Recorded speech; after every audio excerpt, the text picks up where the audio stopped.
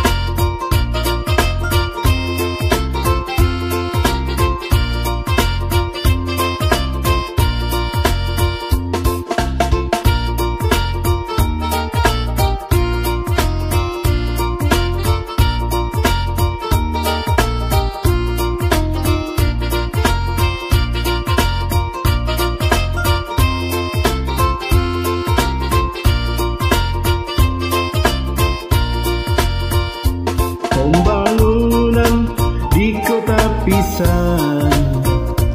Pembangunan di kota pisang